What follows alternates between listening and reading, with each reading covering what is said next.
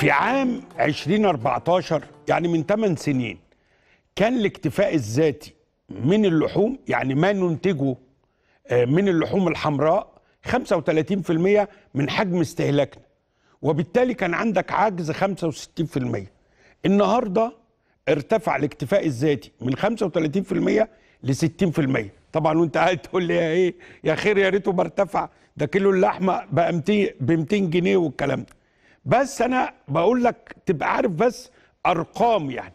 عشان كده جه المشروع بتاع الدولة المصرية مشروع قومي لتسمين البتلو النهارده عندنا فقرة حوارية مهمة جدا تتكلم عن الثروة الحيوانية.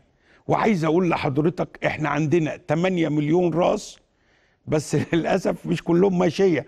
داخل فيها الدواب كمان يعني اللي هي الحمير لا مؤاخذه يعني. بس عندنا الأبقار الجاموس عندنا 2 مليون بقرة وجاموس إناث منها. إزاي ننمي الثروة الحيوانية دي؟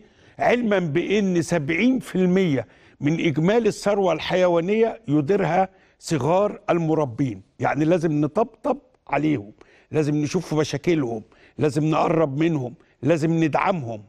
لأن بيقول لك 70% من إجمالي ثروتنا الحيوانية آه، عنده.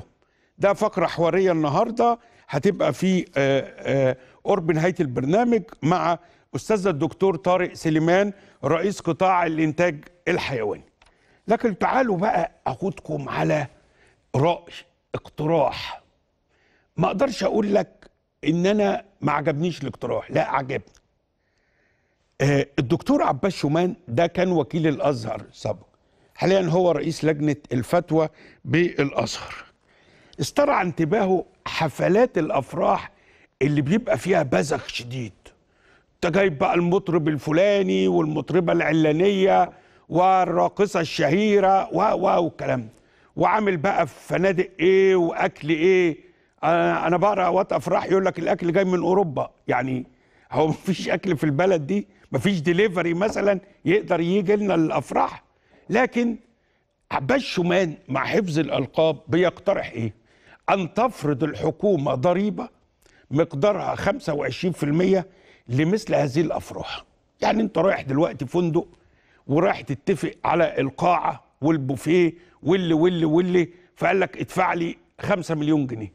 الدولة تروح داخلة إيه؟ تقول لك عليها ضريبة 25% أو تقدر الحكومة تقول إن أي فرح تكلفته تتجاوز مبلغ كذا إحنا هناخد 25% بس دكتور عباس شومان بيقول إيه؟ استني يا حكومه بقى. أنت ما تاخديش ال 25% دي وتوديها لي الموازنة العامة للدولة وتسيح بقى نعمل بيها اللي إحنا عايزين نعمله. لا. دكتور عباس شومان بيقترح هنا إن نسبة ال 25% تذهب لإعانة الشباب غير القادر على الزواج. الفكرة عجبتني. وممكن يا سيدي ما تبقاش ضريبة. تبرع مش انت رايح تعمل فرح بالشيء الفلاني. يعني اللي يدفع 10 مليون يدفع فيها مليون 2 مليون. ويبقى في صندوق. هنا بقى نتمنى المبالغ دي تروح للأزهر الشريف. ما تروحش وزارة المالية. لأن الأزهر الشريف هو الجهة اللي إحنا نثق إنها هتنفق فيها المال على هذا البند المخصص ليه. كمان دكتور عباس شومان بيقول إن في أفراح كتيرة جدا. بيتم تناول فيها الخمور والمخدرات. وبيقول لك هذه أفراح غير مباركة. والزيجات اللي فيها لازم تفشل لأن فرح أقيم على غير ما أراد الله يعني. لأن فعلا بقى في أفراح بس أغلبها شعبي أغلبها شعبي. الأفراح اللي هي ال five stars آه ممكن يبقى فيها تناول الخمور. بس أنا هنا ما بكلمش أو بقيم الناس اخلاقيا ولا دينيا. أنا ماليش دعوة بده. بس أنا بنقل لك رأي دكتور عباس شومان. بيقول لك كل غالبيه الأفراح بقى فيها حشيش وخمور. إذا أؤيد الدكتور عباس شومان في اقتراحه بإن تفرض ضريبة مقدارها 25% على الأفراح اللي هي فيها بذخ. بس هنا بقى عايزين نقول للحكومة إيه؟ لازم تحددي أول حاجة إيه الفرح اللي فيه بذخ. يعني الفرح لو تجاوز مثلا 200000 300000 مثلا يعني معرفش هل كل فرح القانون هيعرف البذخ إزاي يا دكتور عباس؟ ولا نقول إن كل فرح يقام في فندق خمس نجوم يبقى فيه رسم للأزهر الشريف 10% لإعانة الشباب. ونشوف ال- الرسوم مثلا على المطربين اللي بيغنوا. معرفش دول بقى نظامهم إيه؟ لكن كمان دكتور عباس شومان بيقول لو سمحتم والمأذون عمال يكتب المهور عايزين برضو نفرض ضريبة آه، على المهور العالية. بس أنا أخشى هنا أن يحصل تهرب هنا. يعني دكتور عباس بيقول لك واحد هيعمل مه لعروسته 10 مليون جنيه. طب إحنا عايزين 2 مليون جنيه تروح للأزهر بقى؟ أنا حددت ده اقتراح مني للجهة اللي تتولى تزويج الفتيات غير القادرات الأزهر الشريف. ويتصرف مبلغ يعني تؤخذ ضريبة على المهر. ده طبعا ما ينفعش إلا بتشريع قانوني يعني من البرلمان أو قرار بقى إداري يطلع من آه، السيد رئيس الوزراء. لكنه اقتراح في حد ذاته يستحق المناقشة. بعد طبعا حفلات البذخ والأفراح والليالي الملاح أنا عايز أقول بس أصل شكل عباس شومان راجل طيب كده.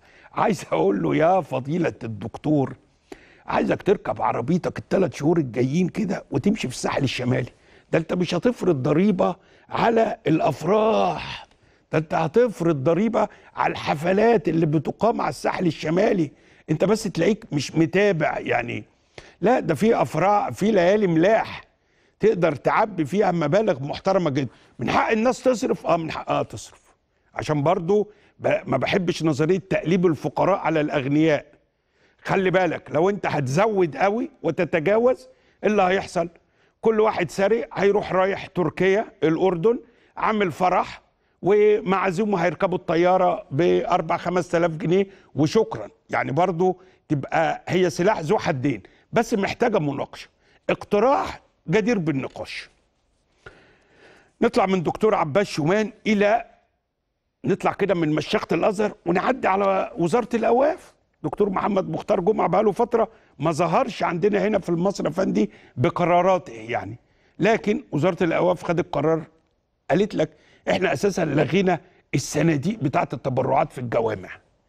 وعاملين رقم واتساب أي مواطن أي مصلي في جامع يعرف إن في جامع بيعمل صندوق يجمع فيه تبرعات ابعت لنا على رقم الواتساب ده. هو بالمناسبة رقم الواتساب 012 صفرين 11 5268 هتلاقوه منشور على موقع اليوم السابع. بيقول لك يا مؤمن لو انت رحت كده وقفشت صندوق صوره وابعت بس على الواتساب لوزارة الأوقاف. طب إيه اللي حصل؟ اللي حصل إن في قضية حصلت في اسم شرطة التاني المحلة محضر اتعمل. محضر ليه؟ لأن في مواطن لص يعني دخل أحد المساجد لقى صندوق تبرعات قفش فيه وراح واخده. طبعا اتصور واتعمل محضر واتقبض عليه طبعا اتجرس وطلع عين اللي جابوه. وزارة الأوقاف هنا بقى عكشت مين؟ المسؤولين عن هذا المسجد. خطيب إمام حارس إيه الصندوق ده؟ مش أنا لاغيه صناديق يبقى أنتوا إزاي عملتوا صندوق؟ عملتوا ليه صندوق؟ فورا. فراحوا واخدين قرار بع- بعقاب المسؤولين عن هذا المسجد. وجددت وزارة الأوقاف بيانها الشهير أو الأشهر خلال الأسابيع الماضية لما ألغت جميع صناديق التبرعات في المساجد. وحددت لك حسابات محددة في البنوك بتقول لك لو أنت عايز تتبرع لجامع لفرش لسجاد لنجف لإضاءة لتكييف لبناء عليك أن تتبرع في هذه الحسابات. عشان أنا كوزارة أوقاف أنا بضمن لك إنها فعلا هتوصل للمكان اللي أنت عايزه بدل ما يستولي عليها البعض ويقعدوا يصرفوها. خلي بالك أنت هتكتب الحاجات دي وأنت بتتبرع تقول مثلا أنا في قرية كذا أنا بتبرع للمسجد الفلاني. يبقى مفيش صناديق تبرعات في مساجد مصر المحروسة. خلاص واللي هيتعكش هيتعكش. عايز بقى أروح إلى زلزال. زلزال لصالح الدولة المصرية. زلزال مهم. ركز معايا كده وطقطق لي ودانك. كلام حلو قوي دلوقتي معاملات مصر الخارجية. عايزة تشتري قمح عايزة تستورد عربيات عايزة تجيب كمبيوترات عايزة تجيب أكل لازم توفر إيه؟ الدولار. فمصر بتقعد تدور على الموارد اللي بتجيب منها الدولار اللي هي إيه؟ السياحة. قناة السويس المصريين العاملين في الخارج الصادرات. أحيانا الدنيا بتضرب زي اليومين دول فيبقى إيراداتك الدولارية أقل مما تحتاجه للاستيراد. طب هنعمل إيه؟ هنعمل إيه؟ دي مشكلة.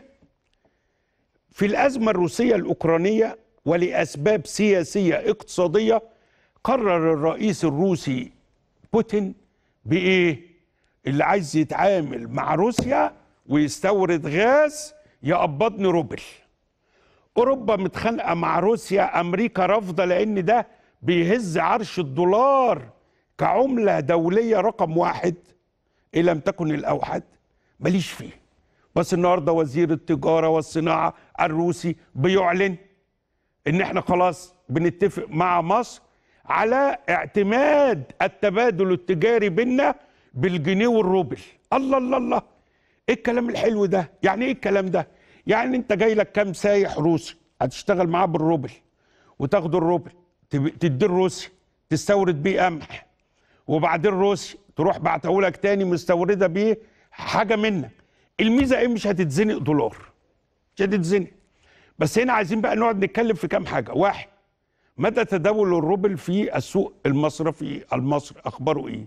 هل هو متاح في الأسواق؟ طيب الشباب اللي شغالين في السياحة اللي بياخدوا تبس من هنا متعودين على إيه؟ دولار يا يورو في الأغلب يعني. طب لو واحد سائح روسي اداله خمسة روبل هياخده؟ مفروض ياخده لأنه هيروح البنك يغيره. تعالوا بقى نعرف تفاصيل القصة من أستاذنا الدكتور مدحت نافع الخبير الاقتصادي. مساء الفل دكتور مدحت. يا فندم وتحياتي لحضرتك والمشاهدين الكرام. تحياتي. تعليقك على تصريحات وزير الصناعة والتجارة الروسي على اعتماد الروبل والجنيه المصري في التبادل التجاري بين الدولتين. أنا بشكر حضرتك للمقدمة وللتبسيط وخليني أوضح بس إن حجم التبادل التجاري المصري الروسي بالكاد يقترب من 5 مليار دولار كقيمه معظم الميزان يعني بايز أو منحرف أو منحاز تجاه روسيا. يعني نحن مثلا إحنا بنستورد بما يقدر ب 4 مليار وروسيا بتستورد مننا بما يقدر بما أقل قليلا من مليار. طيب ماذا يعني ذلك؟ يعني أننا اولا يعني طبعا القيمة السياسية لفكرة التحول إلى العملات المحلية في التداول أو المحليه الوطنية يعني للتبادل التجاري هو يعني هو الأكبر يعني الأثر سياسي أكثر منه اقتصادي لأن في النهاية هي عملات صعبة نحن نبحث عن عملات صعبة وحتى نقيم ونقيس بالدولار طيب مش الدولار برضه هيتاخد كعملة وسيطة لتقييم الجنيه والروبل؟ ما هو أكيد أصل أنت يعني هو عملة قوية وعملة التداول التجاري بنسبة 80% في العالم أو أكثر فستظل هي المعيار هي الاثبت يعني هم هيحسبوا الحاجة بالدولار ويحولوها للجنيه أو الروبل. ماشي آه مثلا. فكمقياس هتظل تستخدم الدولار. دي أول حاجة. هتظهر تظهر عندنا بقى مشكلة مش عند روسيا. إن أنا لما خلاص أنا صدرت وجالي ما مقداره مليار دولار بس بالروبل. وعايز أستورد 4 مليار. أنا عندي عجز 3 مليار كده أجيبهم منين؟ أروح أشتري روبل. شراء الروبل أصعب من شراء الدولار. أو توفير الروبل أصعب من توفير الدولار. إحنا بنوفر ليه؟ اشرح لي. معاملاتنا. ما أنا عندي 3 مليون سائح روسي بيجي لي. ما هو أنا بقول لحضرتك لو كل سائح صرف لي 1000 روبل هيبقى معايا 3 مليار روبل مثلا. ما هو طبعا إحنا أنا بكلمك على حجم الميزان الحالي وفقا لما هو معلن يعني ده الحجم الحالي بما فيه السياحة وبما فيه لأن ده ميزان التجارة والخدمات. فيما أعلم أنه لا يزيد عن 5 مليار في الإجمالي و يعني أربعة منهم تقريبا من بيروحوا روسيا فده بس ده شكل من أشكال المشت... هو في كل الأحوال حتى لو ما كانش داخل في التقديرات دي انفاق السائحين ولو إني أشك. هيظل برضه منحاز إلى حد ما تجاه روسيا. وبالتالي ما يتوفر لدي من روبل لن يكفي من أجل الاستيراد من روسيا. فتبقى عندي مشكلتي وأنا بفتح حسابات مستندي أو أنا مستثمر ومستورد وعايز أدور على الروبل مش هلاقيه وهطالب البنوك إنها توفره. طب في أسئلة بقى هل منظمة التجارة العالمية توافق على كده؟ هل أمريكا توافق على كده؟ هو يعني هو من حقك أنت انت يعني ده اولا الحق آه الحق حقك آه. بس ليس كل حق ليك في هذا العالم آه بتقدر تمارسه أو تاخده يعني. فيما يتعلق بتبادل تجاري ثنائي آه ومعاملة بايلاترال ما فيهاش ما فيش حد ليه انه يتدخل فينا إحنا بنسددها زي إن شاء الله. ما ده هيحصل بين الصين والسعودية. آه ما هو ده اتفاق. خلينا خلينا خلينا برضه نكون واضحين. يعني ما هو تأثير هذه المعاملات الثنائية مقارنة بحجم التبادل التجاري العالمي؟ مهما كان هيظل برضه هي نسبة صغيرة. مش هتأثر بشكل كبير. والحقيقة الناس بتتجه للبارتر أو إزاي إن أنا أبتدي أعمل تبادل كيفي.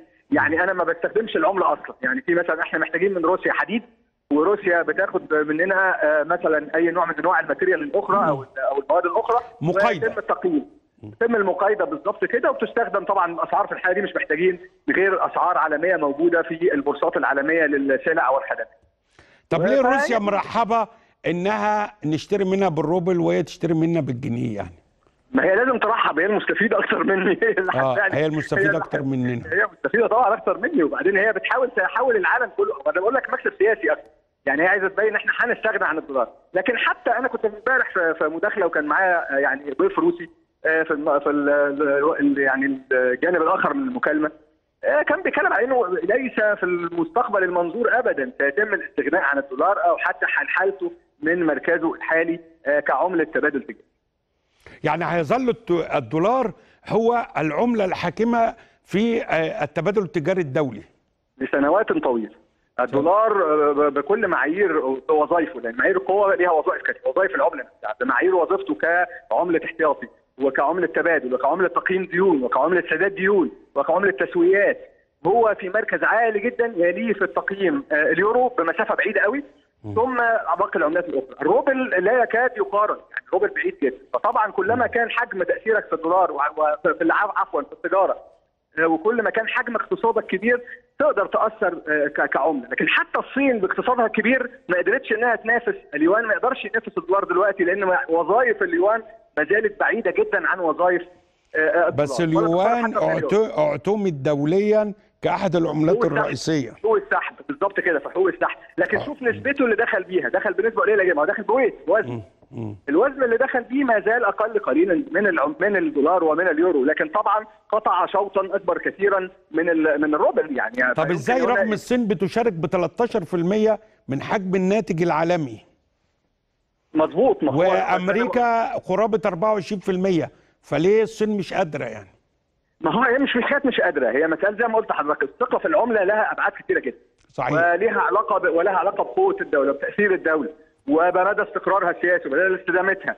ومدى وخلي بالك جزء كبير من حجم الاقتصاد الصيني يعني يستهلك بداخله يعني هو معيار قوة قائم من قوة السوق الصيني نفسه. صح. فمختلفة عن التأثير الممتد الخارجي للولايات المتحده ومسائل أخرى يمكن أكثر تعقيدا ان إحنا نقولها للمشاهدين. لكن في كل الأحوال يعني زي ما بقول لحضرتك هي خطوات بتحاول بيها روسيا تقلل من حجم الضغط عليها وحجم التأثير الكبير والمقاطعة طبعا عاملة أثر أشكرك. شكرا جزيلا دكتور مدحت نافع الخبير الاقتصادي وبمناسبة روسيا في منتدى دلوقتي اسمه سان بطرسبورغ بيقام في روسيا منتدى في دورته ال 25 منتدى اقتصادي تحت رئاسة الرئيس الروسي فلاديمير بوتين. مصر بتشارك بجناح كبير جدا في هذا المنتدى.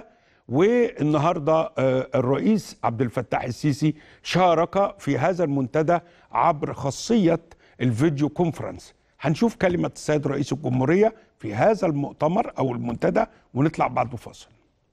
بسم الله الرحمن الرحيم. فخامة الرئيس فلاديمير بوتين رئيس روسيا الاتحادية السيدات والسادة الحضور الكريم. اسمحوا لي بداية أن أتقدم لفخامة الرئيس فلاديمير بوتين بخالص تهنئة بمناسبة حلول اليوبيل الفضي لتدشين منتدى سان بطرسبورغ الاقتصادي الدولي والذي أصبح منذ عقده لأول مرة عام 1997 منصة رائدة لمجتمع الأعمال وحدثا اقتصاديا متميزا. يسعى لمناقشة القضايا الاقتصادية الرئيسية التي تواجه الأسواق الناشئة والعالم.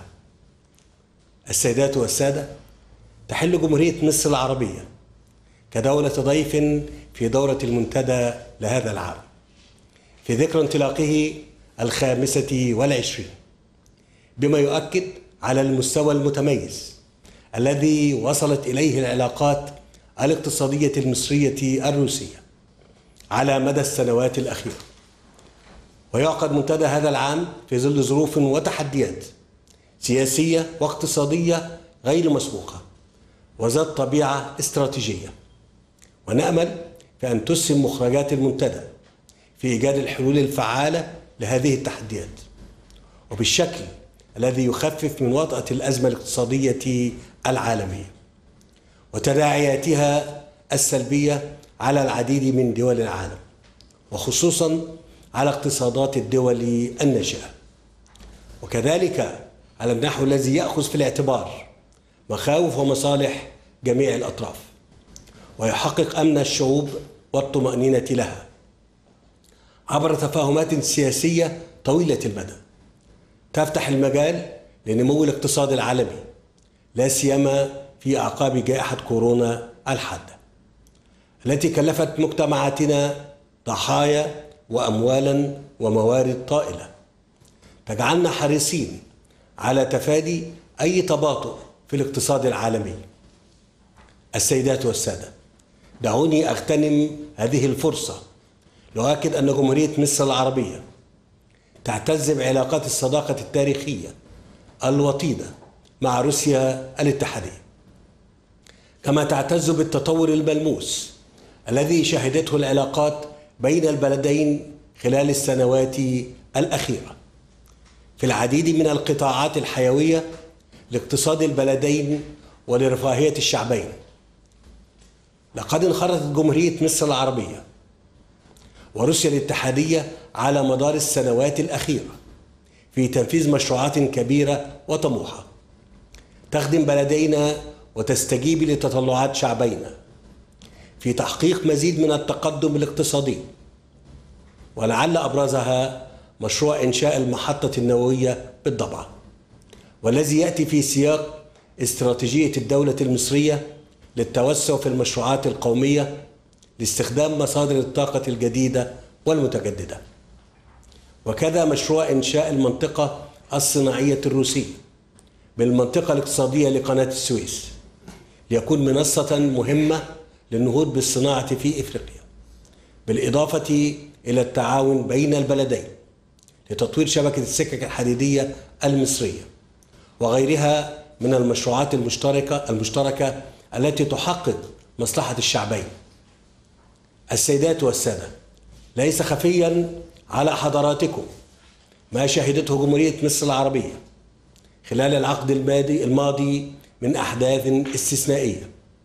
كان لها تأثير بالغ على مجمل الوضع الاقتصادي في البلاد. وقد نهض الشعب المصري للعبور من هذه الأزمة.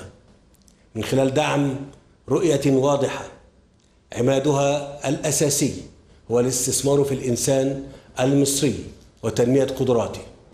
ومن هذا المنطلق جاء تدشين رؤية مصر 2030 لتعكس خطة استراتيجية طويلة المدى للدولة لتحقيق مبادئ وأهداف التنمية المستدامة بأبعادها الاقتصادية والاجتماعية والبيئية. وتأسيسا على هذه الرؤية قامت الحكومة المصرية بتحديث البنية التشريعية من أجل أن تتمكن مصر من استقطاب مزيد من الاستثمارات الأجنبية مما أهل مصر لتكون صاحبة المركز الأول للدول الجاذبة للاستثمارات الأجنبية في إفريقيا. ولتصبح إحدى الدول القليلة في العالم القادرة على تحقيق معدل النمو وصل إلى نسبة 3.3% في عام 2021 على الرغم من التحديات السلبية لانتشار فيروس كورونا على الاقتصاد العالمي. في الوقت الذي نتوقع فيه أن ينمو الاقتصاد المصري بنسبة 5.5% خلال العام المالي الجاري. كما زادت صادرات البلاد غير النفطية خلال عام 2021 لتبلغ 32 مليار دولار. كما نجحت مصر في إطار استراتيجياتها لتعظيم قدراتها من أجل تنفيذ مشروعات زراعية عملاقة تستهدف زيادة الرقعة الزراعية بنحو 2 مليون فدان. فضلا عما تنفذه مصر من مشروعات ضخمة في مجال النقل والمواصلات عبر مد آلاف الكيلومترات من الطرق وتطوير منظومة النقل المصرية. عبر إدخال مشروعات جديدة مثل مشروع القطار السريع الذي سيمثل وسيلة للربط بين البحرين الأحمر والمتوسط. الأمر الذي من شأنه تعزيز وتسهيل حركة التجارة الدولية. ويضاف إلى ذلك المشروعات الصناعية العملاقة والعديد من المشروعات في مجال الطاقة النظيفة التي تدشن في مصر بمعدل متسارع على مدار الفترة الأخيرة. وعلى الرغم من الجهود الوطنية سالفة الذكر إلا أن العمل المصري ومحاولات النهوض اصطدمت مؤخرا بأزمات اقتصادية خلفتها جائحة كورونا والتي ما لبث للعالم أن يتعافى جزئيا من آثارها حتى أطلت علينا أزمة اقتصادية كبرى. ألقت بظلالها على معدلات النمو وأثرت سلبا على موازنات الدول. بالنظر لارتفاع أسعار المحروقات وتراجع أسعار العملات الوطنية في مواجهة العملات الصعبة. فضلا عن اضطراب سلاسل الإمداد ومن ثم ظهور أزمة الغذاء وكذا عدم انتظام حركة الطيران المدني.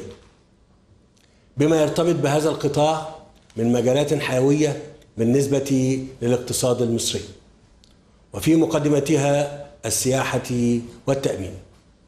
إن التصدي لهذه الأزمة ذات الطابع الدولي يتطلب أيضا جهدا دوليا وتعاونا من جميع الأطراف من أجل إعادة الأمور إلى نصابها الطبيعي لا سيما حركة الملاحة البحرية وانتظام سلاسل الإمداد خاصة المواد الغذائية كالحبوب والزيوت النباتية والعمل على استعادة الهدوء والاستقرار على الصعيد الدولي.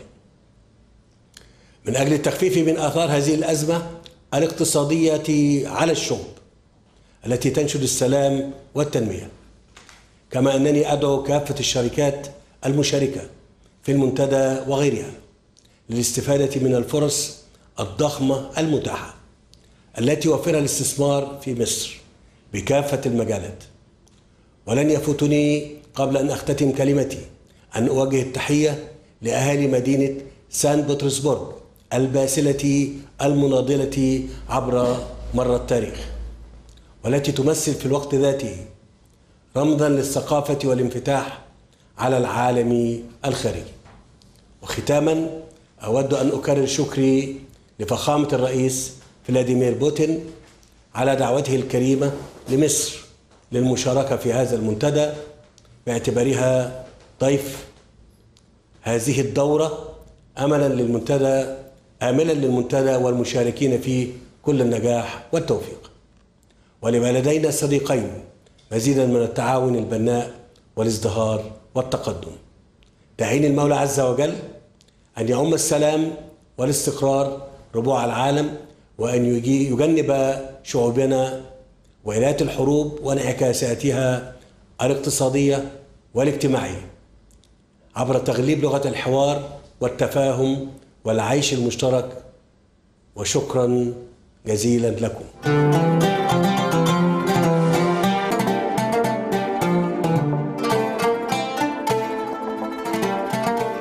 من المشروعات العظيمة اللي أنا دايما بثني عليها في برامجي مشروع آه، التأمين الصحي الشامل.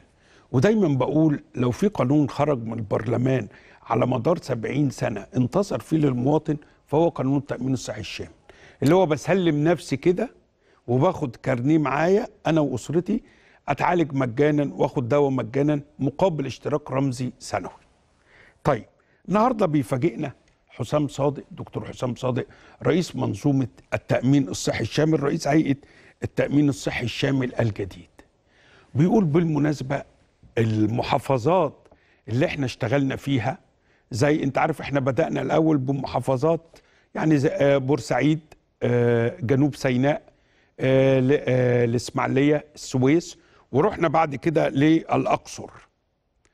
بيقول مثلا إن في فاتورة لأحد المرضى مواطنين المرضى عملت مليون وتلتمائة ألف جنيه. يعني بيقول كان في علاج أجنبي جبناه كان في تفاصيل كتيرة. هنا بيأكد لك إن منظومة التأمين الصحي الشامل ما بقى يعني لن يكون فيها سقف للعلاج.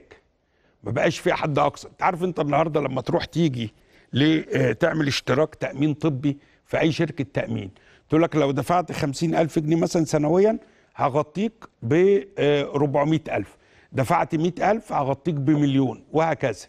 أكتر من كده مش هنا فالمنظومة يعني أتمنى الفترة الجاية نلقي عليها الضوء أكثر وأتمنى إن إحنا نتجاوز المحافظات دي. هي مفروض آه، تصل إلى القاهرة. آخر محافظة يتم تطبيقها كان في خلال 15 سنة بس رئيس الجمهورية طلب من الحكومة إن الفترة لا تتجاوز 10 آه، سنوات. أمس المجلس الاعلى للاعلام اللي بقى مسؤول عن تنظيم منظومة الإعلام داخل جمهورية مصر العربية عمل احتفالية آه، كبرى بمناسبة تسليمه 100 ترخيص لقنوات ومواقع وصحف حضر الاحتفالية عدد كبير من السادة الصحفيين والإعلاميين. بنهنئ كل مؤسسة إعلامية حصلت على هذا الترخيص ونتمنى المزيد. تعالوا نشوف هذا التقرير ون...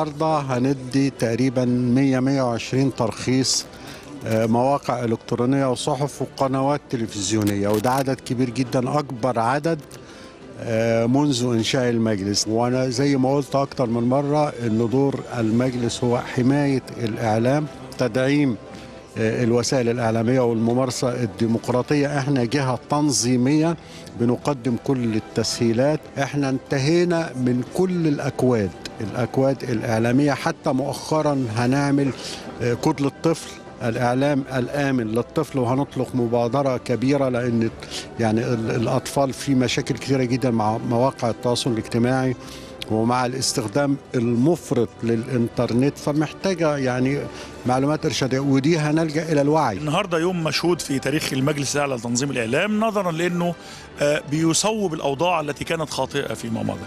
كان هناك حالة من الفوضى العارمة في إصدار الصحف في المواقع في العمل دون أن يكون هناك ضابط أو رابط لهذه المواقع والصحف. ومن ثم كان تدخل المجلس لتنظيم العملية ألا يكون هناك أحد من المواقع الشاردة التي تؤدي إلى تسميم الأجواء أو تؤدي إلى بث الشائعات.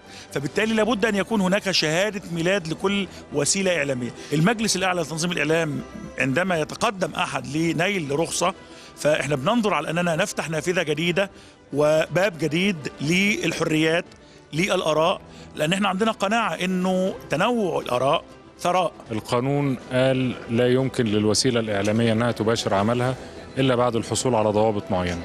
الضوابط دي معمول بيها في مصر ومعمول بيها خارج مصر وليها معايير دولية.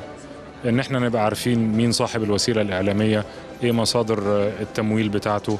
آه، في عندنا قواعد عامة يجب الالتزام بها احترام أحكام الدستور واحترام أحكام القوانين احترام بعض المعايير المهنية. لأن في الآخر وسائل الإعلام بتنقل رسالة للمواطن فيجب أن تكون هذه الرسالة في إطار آه، في أطر محددة متفق عليها عالميا يعني. شايف إنها خطوة جيدة ممكن تكون بداية لفكرة إن أنت تقنن وضعك فأنت بقيت مسؤول قدام القانون عن ممارستك الصحفية فأعتقد إنك لابد أن تلتزم. بس الناحية الثانية برضو في في واجب على المؤسسات ولكن في واجب على هيئات التنظيم. لأن هيئات التنظيم المفروض إنها توفر كل الطاقات وكل كل جهودها عشان تدافع عن حرية ال- العمل الإعلامي. في الناحية الثانية المفترض إن الصحفيين يدافعوا برضو عن مهنتهم بالتزام بمعاييرها. إحنا طبعا ملتزمين بالضوابط اللي حطها المجلس الأعلى للإعلام آه، وطبعا هنلتزم بيها أكتر خلال الفترة اللي جاية لأن ده ده خطوط لازم كله يمشي عليها عشان نكون في منظومة إعلامية صحيحة يعني. تراخيص تمت وفق إجراء لمعايير وإجراء لمستندات وإجراء لفحوصات تمت على هذه المواقع. ربما تشهد هذا الحدث الجيد والجديد من نوعه العديد من التقدم في مربع الوعي. نحن نتحدث عن الوعي وعن المرحلة المقبلة وكيف يكون الإعلام المصري فاعل في الحوار الوطني وفي الدور الوطني. وأعتقد النهارده يوم من الأيام المميزة للإعلام المصري.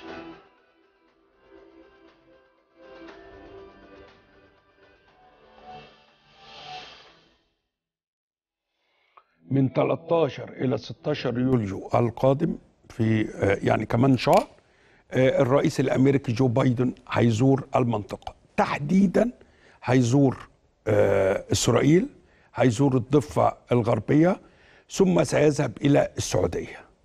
ليه تحديدا السعودية؟ لأنها رئيسة القمة الخليجية في هذه الدورة. آه، القمة الخليجية؟ بقى بيحضرها أعضاء المجلس التعاون الخليجي زائد ثلاث دول أخرى الأردن ومصر من هذه الدول. بايدن جاي المنطقة لأول مرة منذ تعيين آه، انتخابه يعني. وكان في كلام كتير ان هو واخد مواقف من مصر من السعودية الكلام ده. لكن ربما جرت في الأمور أمور. تعالوا نذهب إلى آه، الأستاذ الكبير الدكتور طارق فهمي الخبير السياسي وأستاذ العلوم السياسية بالجامعات ونعرف منه آه، أهمية آه، هذه الزيارة ومن الآخر. أمريكا عايزة إيه من الزيارة؟ وإحنا كعرب عايزين إيه من الزيارة تحديدا مصر؟ مساء الخير دكتور طارق. مساء الخير أهلا وسهلا أستاذ محمد. اتفضل يا فندم. ماذا تريد أمريكا من هذه الزيارة وماذا يريد العرب؟ هو بالتأكيد طبعا هي زيارة مهمة للغاية لأنها أول زيارة للرئيس الأمريكي في الإقليم وللمنطقة وللدول طبعا إسرائيل و... ولماذا الفلسطينية. هذه الزيارة؟ آه، تأخرت لاعتبارات متعلقة بالداخل الأمريكي. يعني كانت هناك يعني آه، آه، جدول مشحون للرئيس الأمريكي انشغاله بالقمم الأوروبية وقمة حلف الناتو والقمم آه، الأوروبية الأمريكية. طبعا بطبيعة الحال آه، يعني آه، تم تعديل مسار ال- ال- الرحلة.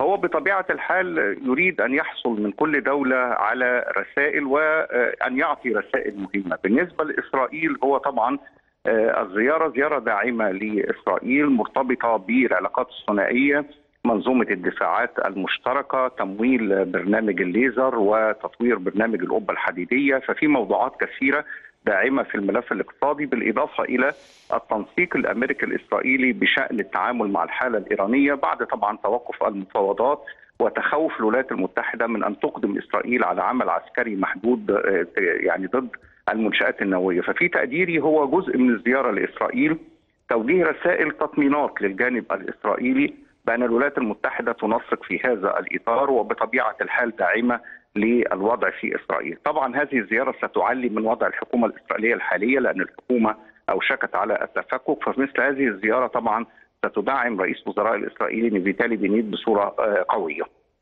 بالنسبة للسلطة الفلسطينية؟ آه لسه أسأل حضرتك السلطة الفلسطينية أخبارها إيه في هذه الزيارة؟ آه، طبعا هي زيارة مهمة للسلطة لأنه سيلتقي مع الرئيس محمود عباس. هو يريد أن يقول للرئيس الفلسطيني نحن مع حل خيار حل الدولتين واستئناف عملية السلام آه، والاتصالات. لكن قبل أن يقول هذا سيسأله الرئيس الفلسطيني محمود عباس وماذا فعلتم للقضية الفلسطينية؟ لأنه كان من المفترض لهذا الرئيس وفق برنامجه الانتخابي اللي نجح فيه ودخل فيه البيت الأبيض أن يفتح مكتب نظام تحرير فلسطينية في واشنطن ولم يفعل وأن آه، طبعا آه، أن يفتح القنصلية آه، ال- الأمريكية في شرق القدس لم يفعل كان أيضا واعدا انه يقدم كامل برنامج المساعدات الاقتصادية للسلطة ولم يفعل هذا، كل دي أمور هو وعد بها الرئيس الأمريكي في الجولة الانتخابية وبرنامجه ولم ينفذها فأعتقد إنه الشيء الجيد اللي يمكن أن يطلقه الرئيس الأمريكي في رام الله هو حاجة واحدة هي مرتبطة حضرتك بوقف أعمال الاستيطان والتأكيد على الموقف الأمريكي وده موقف حضرتك منذ إدارة الرئيس أوباما ثم ترامب ثم هذا الرئيس وبالتالي آه، الإقرار بفكرة حل الدولتين مهم في هذا التوقيت ودعوة الطرف الأمريكي والإسرائيلي آه، والفلسطيني للانخراط مجددا في عملية السلام. لكن ماذا عن مصر؟ اتفضل. آه، بالنسبة للخليج وطبعا مصر بطبيعة الحال الولايات المتحدة تؤكد شراكتها مع مصر، مصر أهم دولة محورية في الإقليم ومصر لها دور لضبط الاستقرار في الإقليم ليس في قطاع غزة فقط كما توهم الجانب الأمريكي لأن الجانب الأمريكي أراد في مرحلة معينة أن يحصر الدور المصري في آه، إطفاء الحرائق في قطاع غزة، مصر دورها أكبر وأهم. وجزء ركيز يعني جزء بتحتل في الاستراتيجية الأمريكية جزء كبير. أنا أعتقد إنه آه، في السعودية سيبث رسائل آه، يعني ضمانات متعلقة بفكرة التحالف الاقليمي على مستوى أمني، إعادة تدبير فكرة الناتو العرب اللي هم طرحوها في مراحل معينة، ترتيبات أمنية وجية في مواجهة التهديدات الإقليمية. لكن يعني اسمح لي أن أقول أستاذ محمد نقطة مهمة. الآن الدول العربية ومصر في موقف قوي وموقف كبير وموقف مهم أن نبني عليه. العرب يمكن أن يقيمون مواقفهم تجاه الإدارة الأمريكية بالفعل لسنا في حاجة إلى شهادات حسن سير وسلوك من الولايات المتحدة، الدول العربية التي سيلتقي بها الرئيس الأمريكي سيجد السعوديه مختلفة وسيجد مصر مختلفة وسيجد الدول التي سيجتمع بها الرئيس جو بايدن مختلفون تماما. آه، نحن نملك بدائل عديدة. الموضوع ليس فقط يعني آه، غاز أو آه، أوبك plus والتفاصيل اللي حضرتك تعلمها. معك. يبقى الخط قطع. بشكرك دكتور طارق فهمي أستاذ العلوم السياسية معلقا على زيارة بايدن في المنطقة وبيعلن أن هذه الزيارة هي الأولى منذ أن تولى جو بايدن الحكم. لكن آه، هو هيجي هيشوف دول غير اللي كان بيتعامل معاها قبل كده. لكن الأهم إن الدكتور طارق فهم بيقول لك أن الدول العربية لم تعد بحاجة إلى شهادة أمريكية حسن سير وسلوك لأن المشهد الدولي كله بقى ملخبط أو ربما هذه اللخبطة أفادت عدد كبير من الدول العربية من بينها مصر. عايز أروح إلى قصة حلوة قوي حاصلة في سكك حديد مصر. إحنا عندنا كل شوية بيتم تكهين عدد من القطارات و و والكلام ده اللي هي الخردة الخردة دي كانت بتتباع بمبالغ بخسة لكن جه آه، آه، مهندس كامل وزير أول ما تولى ال- الوزارة منذ سنوات فاكر إنه كان عمل مزاد وباع بعشر أضعاف القيمة اللي كان بيتم التداول بيها. المهم مش كل حاجة ينبغي أن تباع خردة. قالوا له يا معالي الوزير إحنا عندنا قطر الملك فاروق ويعرضوا صورته شباب على الشاشة والقطار ده آه، كان بيركبه الملك فاروق واتكهن. وقطار إيه بقى؟ مخصص للملك فاروق عبارة عن عربيتين آه و12 غرفة ب 12 تليفون بكابينة بسراير يعني تحفة فنية. الملك فاروق ده اللي ساب لك المنتزه؟ فمتخيل هو عامل إيه؟ المهم تعال بقى نعرف لقصة القطار. القطر ده كان بيركبه الملك فاروق في جولاته داخل مصر يعني. جم أعضاء مجلس قيادة الثورة حبوا إن هم برضه يركبوا قطر ويزوروا آه، آه، المحافظات المصرية. فهيئه سكك حديد قالت لهم نطلع لكم قطر الملك فاروق من المغسى قالوا لا حد الله ده إحنا عاملين ثورة على الملك فاروق. طب انت عامل ثورة على الملك فاروق؟ دي أموال الشعب المصري. هتعمل ثورة على القطر؟ ورفضوا يركبوه. من وطلبوا تفصيل قطر جديد بالمناسبة. المهم القطر اتكهن من يوميها من 52 لسنة 22 اللي إحنا فيها فات عليها 70 سنة. متخيل حل القطر فيه إيه بقى؟ فران وكراكيب وبتاع. المهم مهندس كامل البزيري قال لا أنا هاخد القطر ده هنضفه وأجدده وأظبطه وهخليه يتحرك لإسكندرية ويرسو فين بقى محطته الأخيرة في آه، قصر المنتزه بقى في حدائق المنتزه بالإسكندرية هذه هي قصة قطار آه. عايز أفكركم مثلا بأشهر كوبري في مصر تحول إلى خرده وهو كوبري أبو العلا مثلا. كان تحفة فنية رائعة. عارف مين اللي عمل كوبري أبو العلا هو اللي أنشأ برج إيفل في فرنسا. متخيل؟ تخيل بقى. طب أنا عايز أعرف كم التحف الفنية اللي موجودة في دواوين وزاراتنا ومخازننا يعني أنا بحيي مهندس كامل الوزير وأحييه على آه، يعني تجديده لقطار الملك فاروق كتحفة فنية يعني. نذهب إلى تقرير آخر من وزارة الداخلية عن فعاليات مبادرة كلنا واحد. نشوف هذا التقرير ثم نعود إليكم مجددا.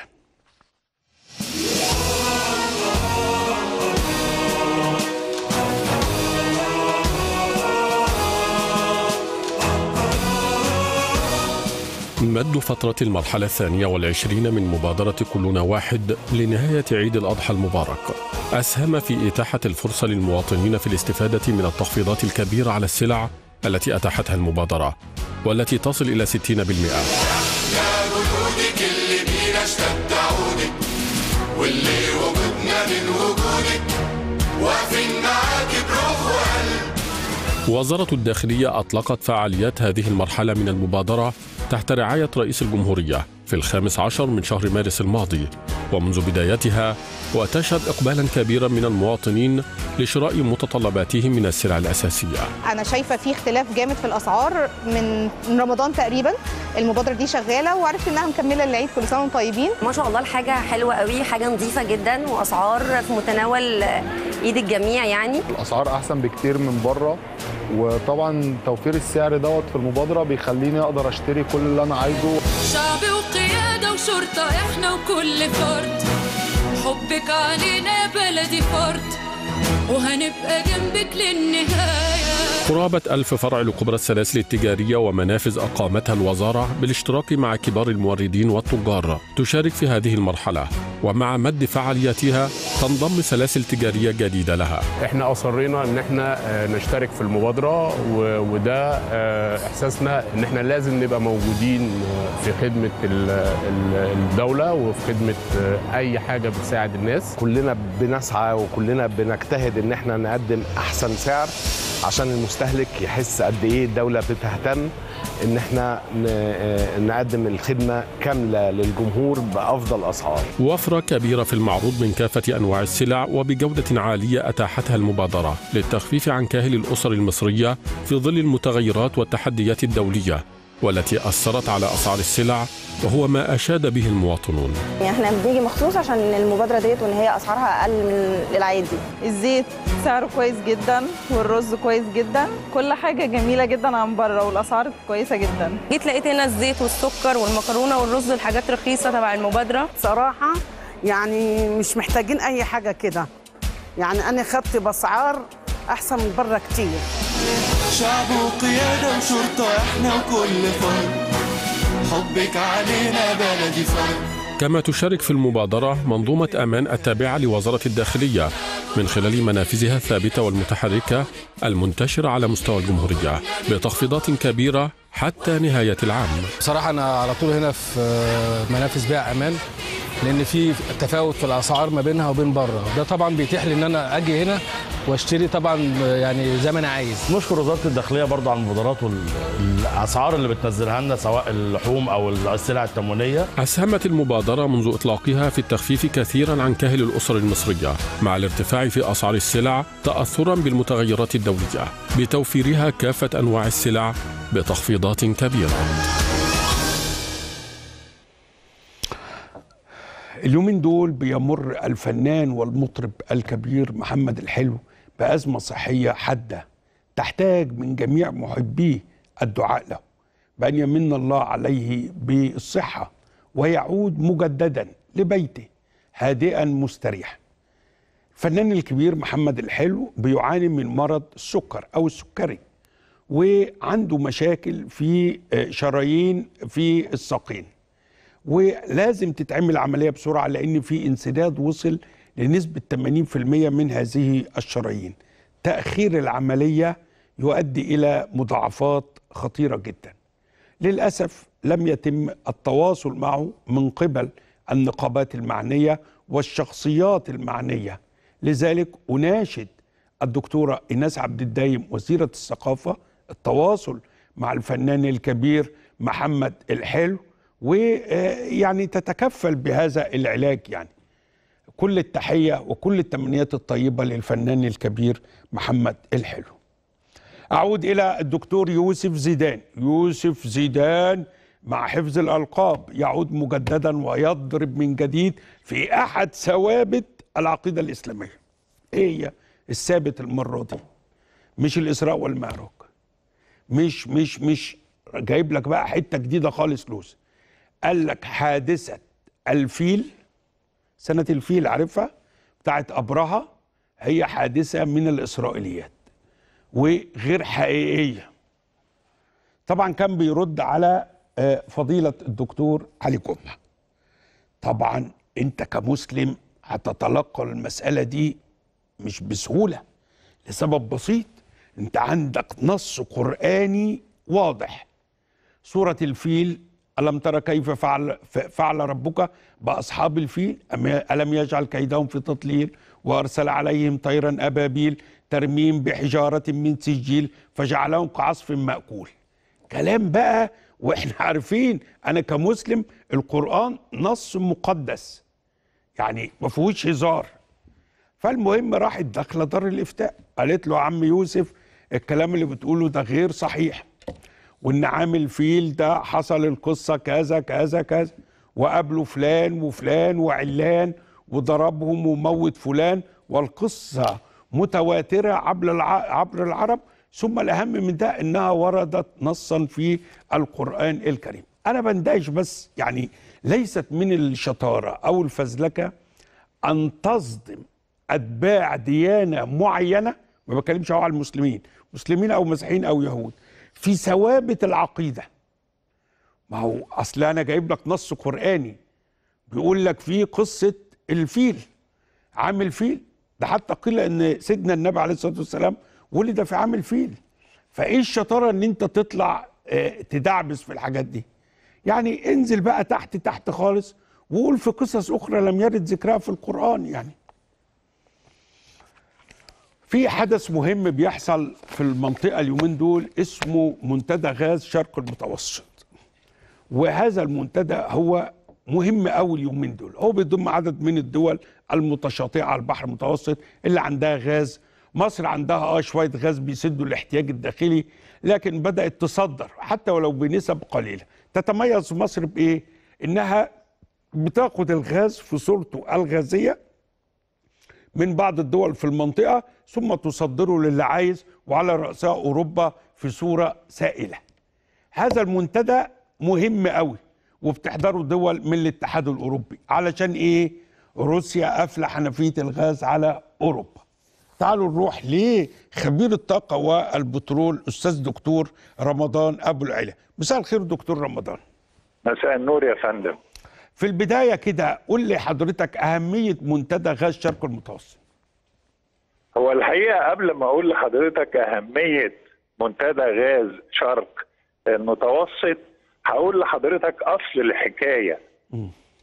إيه، أصل الحكاية بدأت باجتماعات قمة ثلاثية ضمت مصر والقبرص واليونان منذ حوالي 8 سنوات. والحقيقة كان العالم آه، يعني بيستغرب هو إيه إيه لزوم الاجتماعات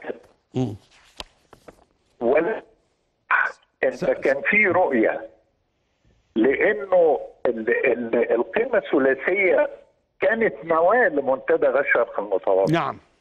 دي بدأت عام 1400 آه، 2014 وتم الإعلان عن منتدى غاز شرق المتوسط في 2019 اللي تحول بعد ذلك إلى منظمة حكومية. آه، قبل آه، آه، إعلان آه، ال- ال- المنظمة تم اكتشاف حقل ظهر نعم. فأصبحت المنطقة محل محط إنذار أوروبا كلها لأنه الكميات اللي تم اكتشافها كانت جديرة بالاهتمام. كمصدر بديل للغاز خاصة دول الاتحاد الأوروبي. لذلك كان الاتحاد الأوروبي حريص على منتدى غاز شرق المتوسط. البنك الدولي كان بيمول البنية التحتية من حسن الطالع إنه إحنا كان عندنا مصنعين لإسالة الغاز منذ عام 2007 نعم. ثم توقفوا آه، بعد ال- الثورة وات في 2011 إنما آه، تم الاستفادة منهم لاستكمال البنية التحتية اللي هي بتمد ال ال بتنقل الغاز من المياه العميقة إلى محطات الاستقبال آه، في بورسعيد. طيب آه، دعنا بس الآن نقفز إلى المنتدى الحالي وهل هل هل يستطيع أن يلعب دورا رئيسيا في إمداد أوروبا بالغاز ولو بنسبة بدلا عن الغاز بديلا عن الغاز الروسي؟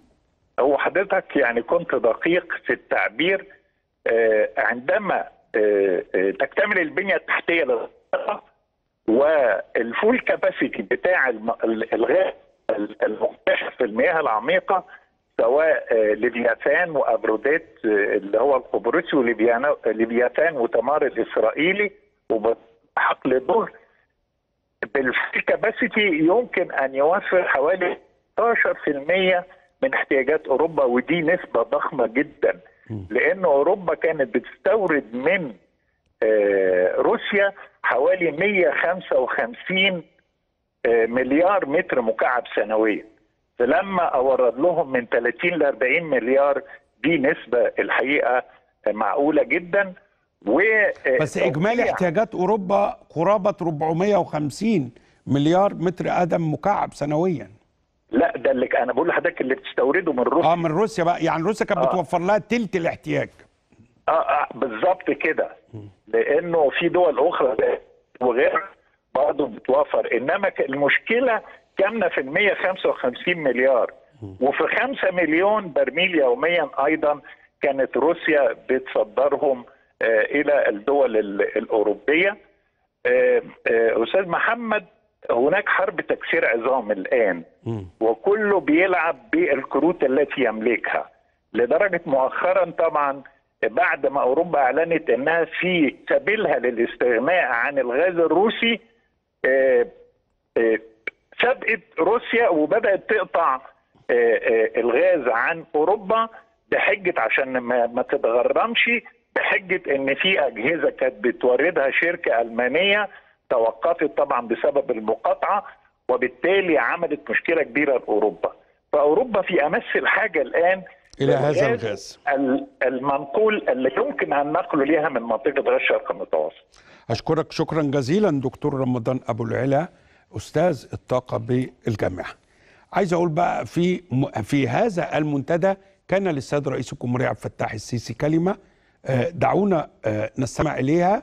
وبعديها أذكركم ب آه، بعدها أذكركم بفقرتي الحوارية مع أستاذ الدكتور طارق سليمان رئيس قطاع تنمية الثروة الحيوانية بوزارة الزراعة.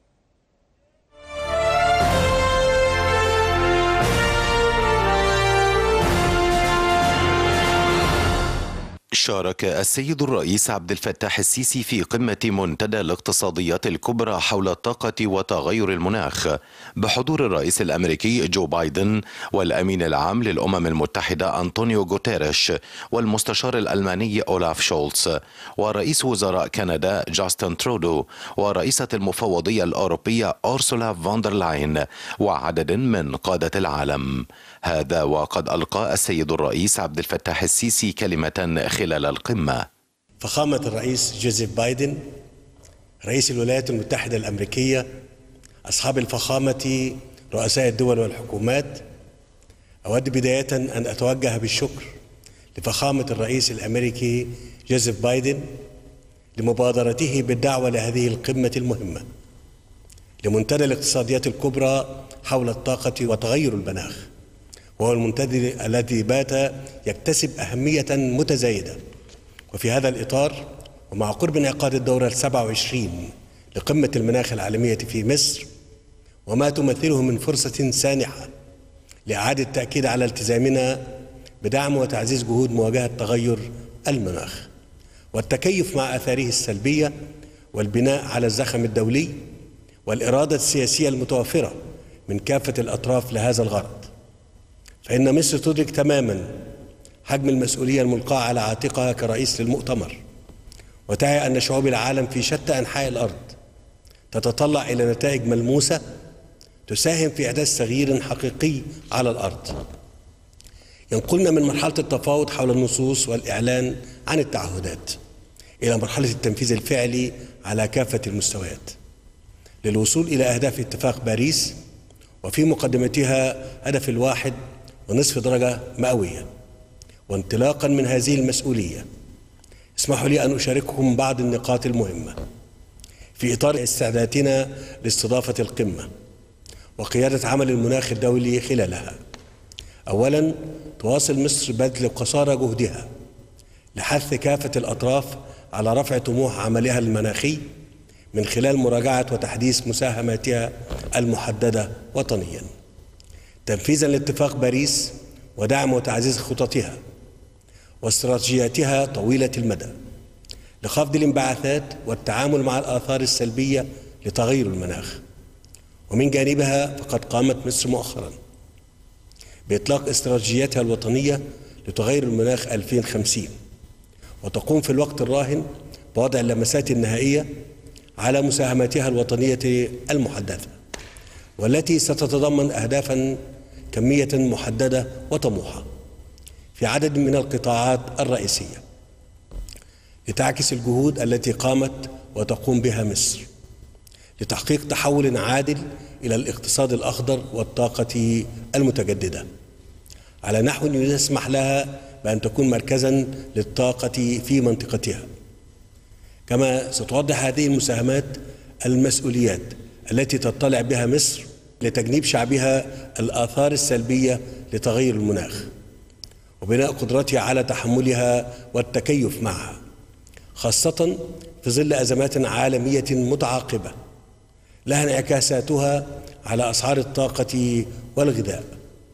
ثانيا على الرغم من أهمية دور الحكومات في الجهد العالمي لمواجهة تغير المناخ إلا أن التحدي الذي أصبحت تمثله الظاهرة يتجاوز قدرتها على التحرك منفردة ومن ثم فإن مصر ستعمل خلال رئاستها على إيصال جميع الأصوات وتضمين كافة الرؤى والتوجهات وعلى إقامة شراكات حقيقية بين الحكومات وغيرها من الأطراف الفاعلة من غير الحكومات من مؤسسات للتمويل ومنظمات دولية ومجتمع مدني.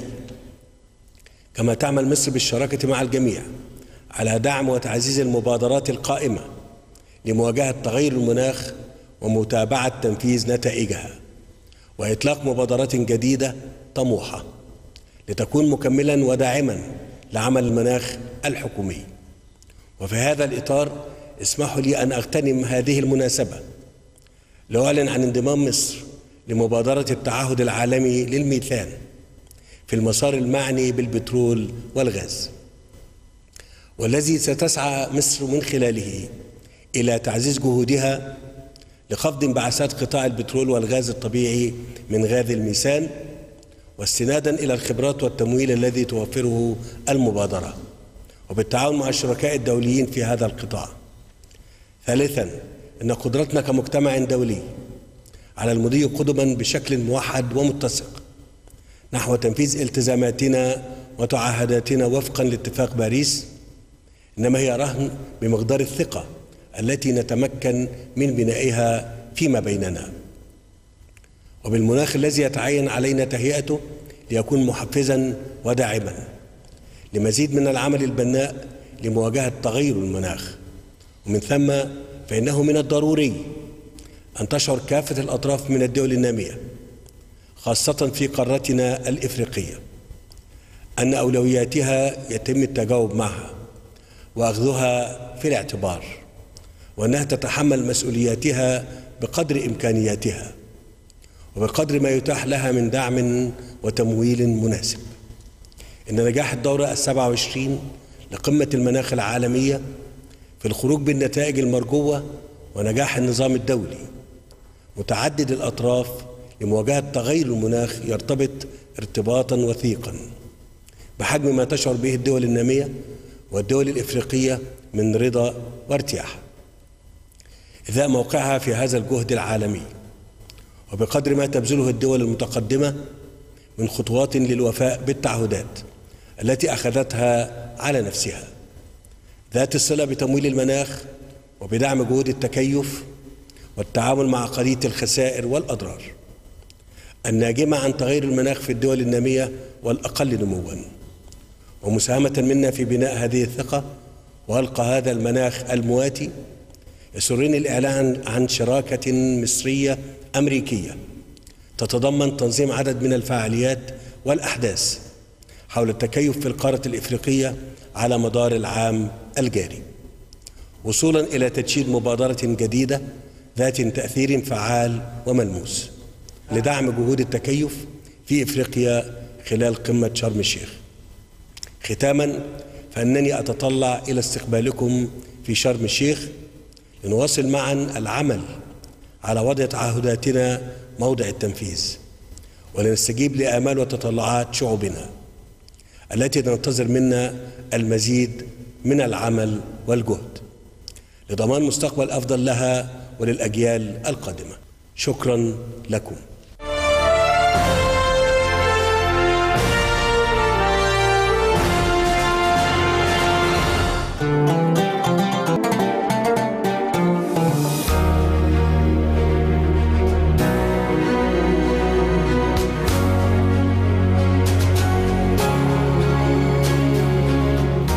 من 2 مليون رأس ماشية يمتلكها المربون المصريون. تمثل جزءا من الثروة الحيوانية التي تسعى الدولة لتحويلها إلى رؤوس محسنة ذات إنتاجية أعلى من اللحوم والألبان. لتدر نفعا على صغار المربين الذين يمتلكون ثلثي الثروة الحيوانية وتؤتي بثمارها في تحسين سلالات الماشية المصرية.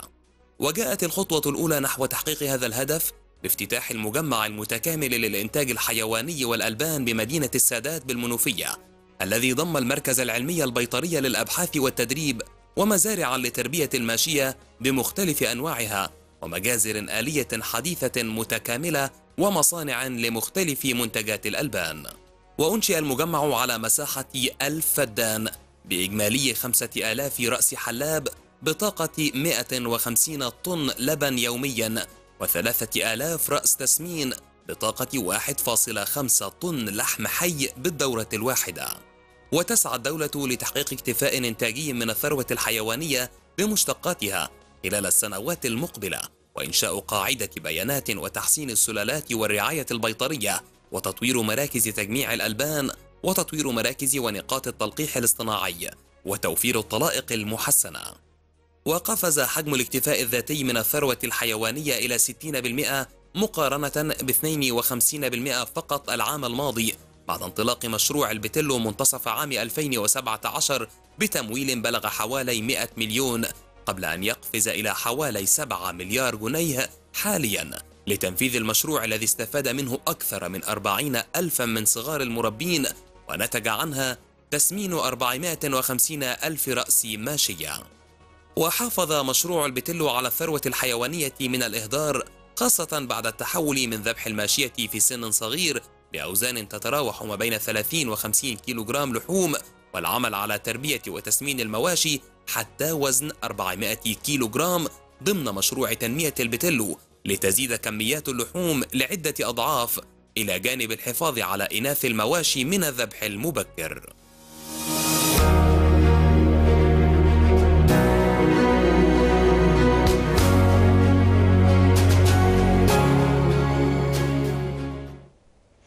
موضوع مهم قوي اللي هو توفير أو إتاحة اللحوم الحمراء لملايين المصريين. زي ما حضراتكم عارفين إحنا عندنا تقريبا آه، محققين الاكتفاء ذاتي من الدواجن من الألبان من البيض مثلا. لكن اللحوم الحمراء عندنا يظل فيها عجز. في 2014 كنا محققين 35% يعني بننتج لحمة حمراء تشكل 35% من استهلاكنا. النهارده إحنا واصلين تقريبا ل 60% طبعا مثل هذه المشروعات تهدف إلى إيه؟ توصل ل 70 و80 و90% 70% بقى من ثروة الحيوانية دي دي بتقع في أيدي صغار المربين. عشان كده أنا بدأت حلقتي بقول عايزين نشوف إيه مشاكلهم نطبطب عليهم نساعدهم نكسبهم عشان هم دول اللي هيقفزوا بيك. هروح لضيفي العزيز اللي مشرفني النهارده دكتور طارق سليمان رئيس قطاع الثروة تنمية الثروة الحيوانية والداجنه بوزارة الزراعة. مساء الخير. مساء النور يا فندم مساء النور لكل السادة المشاهدين كل عام وحضرتك بخير وكل يوم افتتاحات يا رب وكل يوم أحلام بتتحقق. كيف وصلنا لزيادة الإنتاج من 35% 2014 ل 60% 2022 بسم الله الرحمن الرحيم. إحنا شايفين الاهتمام الغير مسبوق من القيادة السياسية منذ تولي فخامة الرئيس عبد الفتاح السيسي لمقاليد البلاد. حتى الآن من أجل التنمية المستدامة لثرواتنا الحيوانية. ودايما بنقول تنمية مستدامة مش تنمية لحظية أو وقتية. وشفنا يمكن دوت بيتبلور بقى بالفعل وبيترجم في صورة مشروعات قومية زي المشروع القومي للبتلو المشروع القومي لرفع كفاءة مراكز تجميع الألبان المشروع القومي للتحسين الوراثي المشروع القومي لرفع كفاءة وتحسين أداء مزارع وعنابر الدواجن.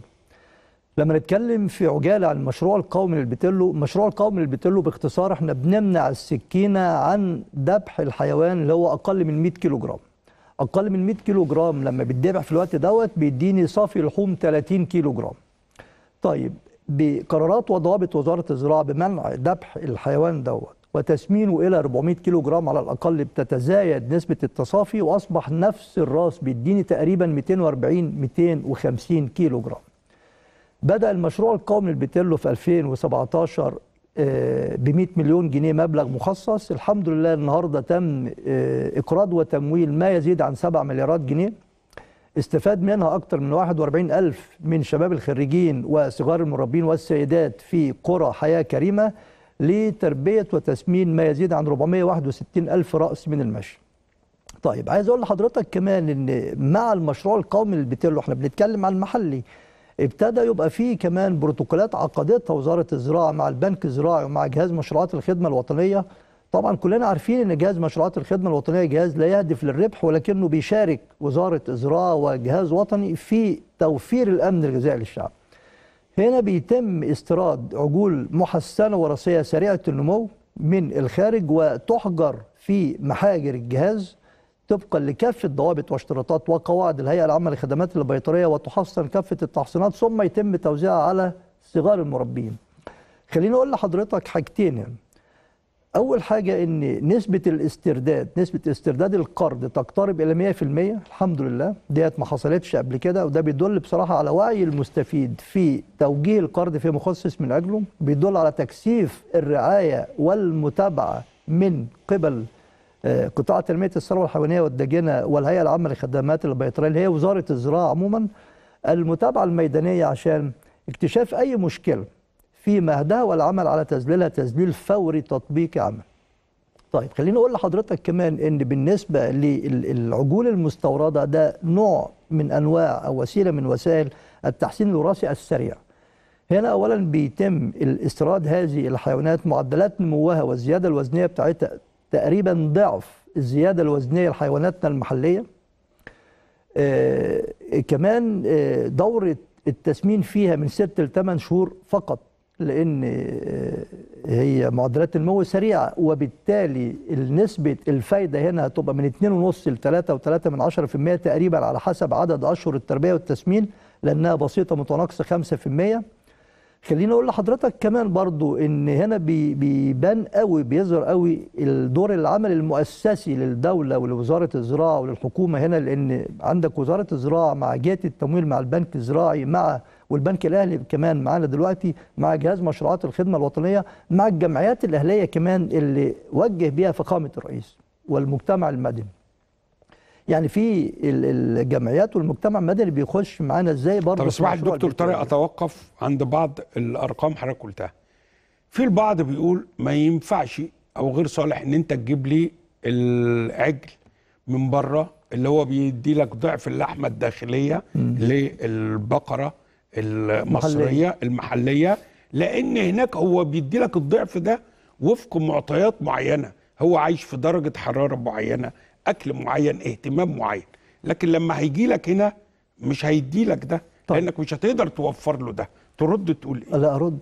بص حضرتك بالنسبة إحنا بنستورد ثلاث حاجات سواء كانت عجول لإنتاج اللحوم أو سواء كانت عجلات متخصصة في إنتاج الألبان من سلالات عالية الإضرار ديت للمزارع النظامية أو لصغار المربيين بنجيب لهم كمان سلالات ثنائية الغرض اللي هي متميزة ومتخصصة في إنتاج الألبان واللحوم معه. لا يتم استيراد رأس واحدة إلا طبقا لمعايير فنية وعلمية ولجان بتفحصها وبتبحث ال- ال- كافة الإجراءات والقيم التربوية لما يتم استيراده من ناحية تأقلمها وتكيفها مع الظروف والأجواء المناخية المصرية ومن ناحية تعايشها مع الأجواء المناخية والبيئة المصرية. بمعنى فندم ما بيتمش استيراد عشوائي. اولا آه، عدة اعتبارات لازم تكون موجودة. لازم الموقف الوبائي يسمح يعني مش معنى إن أنا هجيب حاجة متميزة أجيبها فيها مشكلة.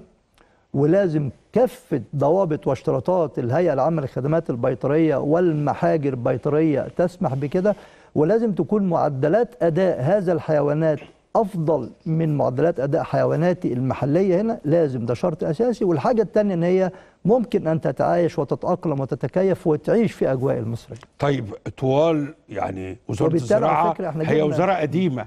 إحنا أقصى حاجة عملناها كنا بنجيب الفريزيوم بس. الفريزن دي أحد السلالات أو من السلالات اللي هي متخصصة في إنتاج الألبان عليه يمكن بتديني من 40 لأعلى من كده في اليوم 40 كيلو. آه، دلوقتي في الأنواع اللي هي آه، ثنائيه الغرض على سبيل المثال اللي هو المونبيليارد والسيمنتال والبراون وفي النوع الثالث اللي هو بتاع brown cow. brown آه cow. آه مش دي اللي هي السلالة الفرعونية القديمة؟ لا هي دي سلالات آه، وعلى فكرة معظم فعلا السلالات دي أنا مع حضرتك هي أساسا متاخدة من مصر من مصر. زي الجاموس مم. أساسا بس هم اشتغلوا عليها. وطوروها. فبيتم التحسين والتطوير أنت بتستورد التحسين ده المحسن محسن. وعشان كده أقول لحضرتك إحنا مش هنفضل مدى الحياة نستورد يمكن توجيهات فخامة الرئيس بإيه بقى بعملية تمصير هذه السلالات مع سلالاتنا المحلية المتأقلمة مع الظروف الجوية والمقاومة لل- للأمراض. مناعتها عاليه بيحصل الخلط والتهجين ما بين السلالات عاليه الإنتاجية ديت مع سلالاتنا المحلية للحصول على سلالات ممصرة عالية الإنتاجية ومتأقلمة مع الظروف والمناخات المصرية وده هيدينا إنتاجية ألبان أكتر؟ إنتاجية ألبان وإنتاجية لحوم طبعا أفضل وأكتر ومش هستورد تاني. خلاص يبقى عندي سلالتي المنتجة لكده. في المقابل آه، والدولة بتمشي في فكرة آه، تنمية الرؤوس المواشي. تمام. في حد بيقول لك دلوقتي طب ما تستورد أحسن؟ لأن الرأس الماشيه الواحدة بتستهلك 5000 متر مكعب مية سنويا. اللي هو اكلها لا، يبقى آه. أنت هتضيف دي المية دي وقيمتها وإحنا عندنا ندرة في المية مع مع مع. طب ما تستورد العجل أحسن بقى. طيب إحنا حضرتك ماشيين بالتوازي زي ما قلت لحضرتك. إحنا بنستورد بالفعل يمكن العجول اللي بيتم استيرادها بيبقى وزنها تقريبا آه، في حدود 250 كيلو. تزيد أو تقل آه، ما أنت 5%. هتزود عليها هنا. آه بنجيبها لغايه ما توصل إلى 400 كيلو على الأقل. مش ده بياخد ده سنة؟ يكون- لا ست شهور ثمان شهور بالكتير قوي. ده في مش استهلاك مية أكتر؟ طيب استهلاك مية أكتر هنا ولا لما من عمر يوم؟ يعني من عمر يوم اللي هي بتكلم على سلالاتنا المحلية أكتر ولا دوت؟ زائد إن معدلات نمو هنا ضعف معدلات نمو برضه حيواناتنا المحلية. يبقى أنا وفرت 250 275 كيلو بدأت بيهم؟ ولا أبدأ بعمر يوم أنا كل دوت يبقى وفرت. 250 أفضل الحاجة طيب. الثانية يمكن إحنا تركيزنا. آه. وديت فخامه الرئيس وتحسين السلالات اللي إحنا على إنتاج الألبان فإنتاج الألبان بطبيعة الحال هي بتلد نسبة من الذكور ونسبة من الاناث نسبة من الذكور هتبقى متخصصة في إنتاج اللحوم برضو وأصبح عندي كده ذكور وحيوانات متخصصة في إنتاج اللحوم والإناث اللي هتتولد برضو هتبقى عالية الإنتاجية وعالية الإضرار في إنتاج الألبان فاكر حضرتك مشروع البتيلو بتاع الثمانينات تمام. توقف ليه؟ حتى نستفيد منه في مشروع البتيلو الحالي. طيب يمكن هو توقف بسبب آه، بعض الأمور المتعلقة بالتغذية المتعلقة بالإقراض المتعلقة بالتمويل بالدور التوعوي والارشادي نفسه. لكن عايز أقول لحضرتك لما حتى ولذلك المشروع دوت إحنا بنسميه إحياء المشروع القومي للبتيل نعم. إحياء المشروع إحياء لأنه كان موجود قبل بدأ كده. 2017 بدأ منتصف 2017 زي ما بقول لحضرتك المبلغ اللي كان مخصص ليه في الوقت دوت فقط 100 مليون جنيه. وعلى فكرة أول ما بدأناه فعلا واجهنا صعوبة. يعني أول ما بدأناه كنت كنا بننادي بالفعل في المساجد وفي مراكز الشباب وفي كافة مديريات. الزراعة ومديريات الطب البيطري والإدارات الزراعية وكده. النهارده الحمد لله وصلنا زي ما بقول لحضرتك ال- الأعداد عليه إقبال غير مسبوق. ومحقق نجاحات لتربيته؟ ومحقق نجاحات اللي هو المشروع. عموما آه. آه اللي هو يعني 41 ألف مستفيد و و 461 ألف رأس لغاية دلوقتي وعلى فكرة لا زلنا يعني الموضوع المشروع لا يتوقف لكن بيتزايد ال- الجمعيات الأهلية أو المجتمع المدني لما شارك مع وزارة الزراعة وابتدى ياخد الأصول الغير مستغلة سواء كانت مزارع تابعة لوزارة الزراعة أو تابعة لمركز البحوث ورفع من كفاءتها ورفع من مستواها وحسن منها وأصبح أصبحت عنابر وحظائر على أعلى مستوى بيربى فيها حيوانات للشباب وصغار المربين اللي ما عندهمش مكان أو اللي هم ما عندهمش خبرة كفاية. عايز أقول لحضرتك إن في نهاية المشروع معظم هؤلاء الشباب وصغار المربين قالوا إحنا الحمد لله دلوقتي قادرين على أن نتملك مشروع لوحدنا قادرين على الرعاية والتربية والتغذية والإدارة وخلافه ورفضوا ياخدوا قرض للمرة الثانية وسابوا القروض لغيرهم وغيرهم. فعايز أقول لحضرتك بالفعل هو الحمد لله المشروع القومي البيتلو محقق نجاحات وكمان خليني أقول لحضرتك في عجالة في مطلع 2020 إحنا من خلال ما لدينا من قواعد بيانات آه، دقيقة توقعنا إن إنتاجنا من اللحوم الحمراء هيكون 52% وعلينا استيراد من خارج 48% 2020 وما كان فيها من جائحة كورونا إحنا شفنا في الوقت اللي كانت دول العالم فيه عندها مشاكل في اللحوم الحمراء وفي الثروة الحيوانية وفي مصادر البروتين الحيواني المتعدد. إحنا الحمد لله ما كانش عندنا لا مشاكل ولا كان عندنا زيادة في الأسعار. هنا كذا حاجة وكذا نتيجة قدرنا نطلع بيها. المربي والمنتج المصري قادر على أن يجابه أي ظروف وقادر على يتح- على أن يتحدى الاقتصاد في الثروة الحيوانية وفي الزراعة اقتصاد مرن قادر برضو على المواجهة. أنا بتكلم فيما يتعلق بمصر بالتحديد قادر على المواجهة وقادر على النجاح وقادر على الاستمرارية. إحنا مش بس محمد بيه حافظنا على إنتاجيتنا ده إحنا علينا من إنتاجيتنا كمان في الظروف اللي كانت دول العالم بالكامل بتقلل من إنتاجيتها. إحنا زدنا من 52% ل 58% دوت لأن عندنا قواعد بيانات سليمة وعندنا إدارة سليمة وعندنا قيادة كلنا بنلتف حواليها وعندنا تكاتف ما بين المنتج والمربي والحكومة والشعب. هنطلع فاصل. بعد الفاصل هيبقى عندي أسئلة مهمة لضيف الدكتور طارق سليمان رئيس قطاع تنمية الثروة الحيوانية بوزارة الزراعة. عايز أكلمه عن كيفية الاهتمام بصغار المربين. يعني في وقت من الأوقات انهار السعر تماما والمربين شد في شعرهم لأن الحكومة كانت بتستورد عجول من الخارج. فطرحت بزيادة معروض عن الطلب فانهار السعر. ثم أيضا عايز أكلمه عن أسباب ارتفاع سعر كيلو اللحمة. إذا كانت إحنا محققين اكتفاء ذاتي واصل ل 60% إيه اللي مخلي اللحمة غالية اليومين دول؟ لكن آه، قبل ما نطلع فاصل نشوف تقر- تقرير عبده المصري فندي فريق الإعداد مع أحد المربين عن السلالات المحسنة. ونرجع تاني.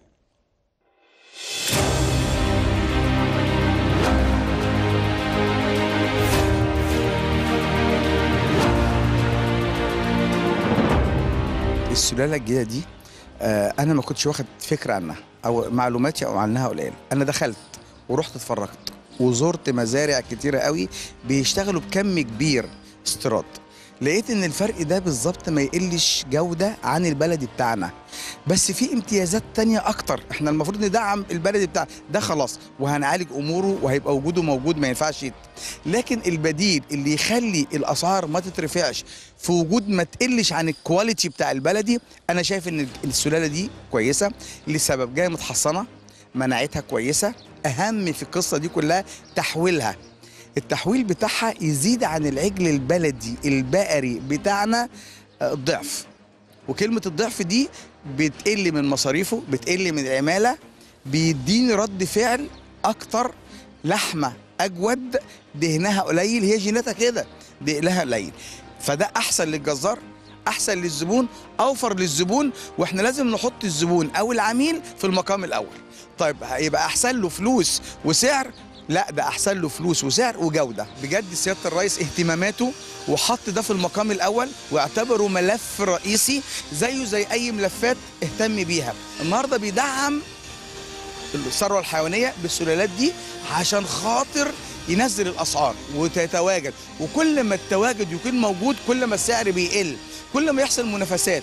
القصة كلها الجودة عاملة إيه؟ الجودة ممتازة. مشروع البتلو قرار صائب من زمان لأن النهارده العجل البتلو وجوده مش مهم قوي في عمر 30 يوم 40 يوم 50 يوم. لكن النهارده أما يتربى ويكبر ويبقى عجل هيديني مساحة اللي أنا أكل بيه 100 زبون 200 زبون. هيبقى عجل بلدي هيبقى عجل بلدي من بتلو لكبير. طب ذبحه ليه صغير. مقترحات أول حاجة برضو نحافظ عن الثروة الحيوانية البلدي. طب اقتراحاتي اللي إحنا نحافظ على عدم ذبح الإناث. لأن الإناث اتذبحت ده ده الطمة الكبرى دلوقتي الاناث الصغيرة اللي هي مؤهلة إنها تكون أم بتتذبح. يبقى الإنتاج الحيواني هيجي منين؟ تامين المواشي دوت المفروض يحصل؟ لأن مش عايزين حد يتجرح. هيصرف عليه 2000 جنيه تأمين أحسن له من من موته. فالتأمين ده مهم جدا جدا جدا. لازم يتأمن عليه. تمويل صغار المزارعين ده ده مهم جدا لسبب لأن برضو الفلاح فاهم أكتر بس ما فيش فلوس. النهارده القروض هتريحه بس توفيره يعني إيه يعني نحاول نسهل طرق القروض عشان خاطر مش كل فلاح عنده سجل تجاري وعنده بطاقة ضريبية وعنده. لا لا لا لا نسهل عشان ده هيكمل مشوار الثروة الحيوانية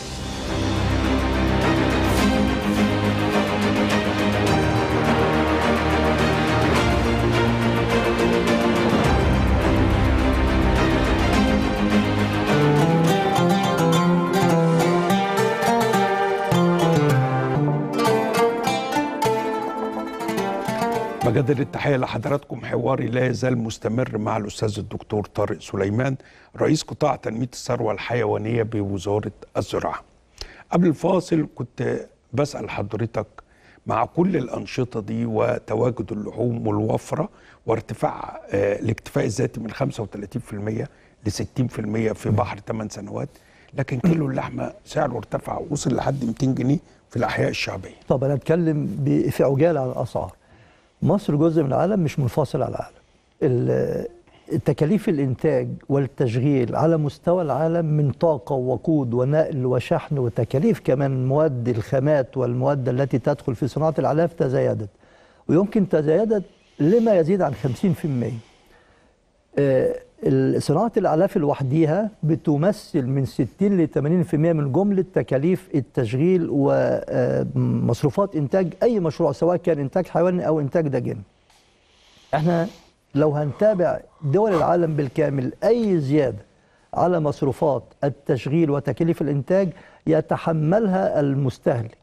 إحنا عندنا حضرتك هنلاقي إن تكاليف التشغيل زادت بنسبة وصلت ل 50% مصروفات الإنتاج زادت بنسبة 50% عالميا لكن إحنا عندنا الزيادة لا تتعدى ال 10 12% أنا بتكلم فيما يتعلق بالثروة الحيوانية والدجن لازم حضرتك نحافظ على المنتج والناتج والمنتج المحلي.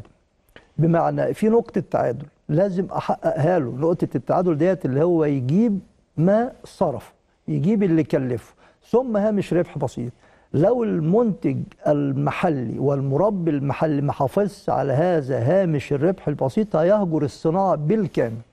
هجر وترك أي منتج أو أي مربي للصناعة هيكلفنا إحنا كدولة كتير جدا. لأن مطلوب مني إن أنا أستورد مكان كل واحد مشي في الوقت اللي إحنا بنسعى وبنحلم مش بس نصل للاكتفاء الذاتي لا اكتفاء ذاتي بل نصدر بعد كده. وإحنا الحمد لله ماشيين سليم. يمكن الحاجة الثانية بقى بتكلم أحيانا فعلا بلاقي بعض المنافذ مبالغ في أسعارها وبعض ال- ال- القلة من عدماء الضمير بيبالغوا في الاسعار الحمد لله دلوقتي الدولة لها العديد من المنافذ الحكومية اللي تابعة لوزارة التموين تابعة لوزارة الزراعة تابعة لجهاز مشروعات الخدمة الوطنية الأمان للمحليات. علينا اللي إحنا وجميع المنافذ ديت التابعه للدولة ثابتة ومتحركة وتغطي كافة ربوع وأرجاء الجمهورية. المنافذ دي موجودة مش علشان تنافس القطاع الخاص ولكنها موجودة عشان تعمل توازن واتزان في الأسواق. العديد والكثير من القطاع الخاص يراعي إيه، ربنا وبيراعي ضميره وبيبيع بأسعار متزنة ومناسبة. اذا في زيادة مبررة ومناسبة ومقبولة وفي زيادة غير مقبولة. الزيادة الغير مقبولة والمنفذ اللي بيبيع بسعر غير مقبول علي أن أهجره بالكلية. هروح ليه حضرتك بتقول لابد من الاهتمام بالمنتج والمنتج. والحفاظ عليهم. آه طبعا. طيب صغار المربين صحيوا فجأة من قرابة سنة ولقوا الأسعار العجول اللي ربوها بتتهاوى. لا دي كانت من حوالي أربع خمس سنوات ودي كان سببها الرئيسي عدم وجود قواعد بيانات سليمة وصحيحة. حضرتك خلينا نتفق إن وجود تم استيراد فجأة كمية عجول كمية كتير. كبيرة من العجول وكمية كبيرة من ال- الفراخ المجمدة كمان. وبالتالي في الوقت دوت أنا فاكر إن كانت ال- ال- اللحوم بتتباع سعر ال- الحي حوالي 30 جنيه وأقل وكانت الفرخة بتتباع بأقل من 10 جنيه على الرصيفه فمعذرة أنا ما أفرحش بسعر رخيص. سعر رخيص النهارده هيفرحني لكن بكرة زي ما بقول لحضرتك هيبقى غالي جدا. وفي الوقت دوت على فكرة حصل مشكلتين. العديد من مربين الدواجن هجروا الصناعة وتركوها لأنه بيخسر. والعديد من من مربي ومنتجي الثروة الحيوانية ذبحوا الإناث كمان ودي كانت مشكلة إن ذبح الإناث اللي هي هتجيب لي بعد كده آه، خلفات سواء كان عجول أو عجلات وهتنتج لبن.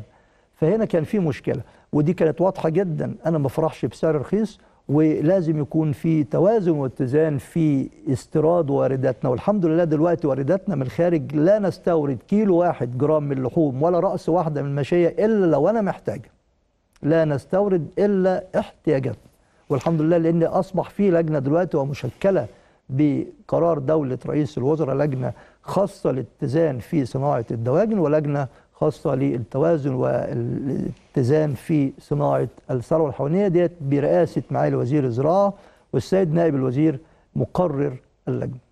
كنت قد قرأت بإن كيلو اللحمه الحمراء بيستهلك في حدود 16 آه، آه، متر مكعب مية سنويا علشان أقدر أعمل الكيلو ده طيب هو أنا ليه أربي وإحنا ليه ما بنروحش نعمل اتفاقات مع دول مجاورة آه، بحيث إن أنا آخد مساحات وهي دول مطيرة طول العام وأربي فيها المواشي دي وأجيبها مصر تاني.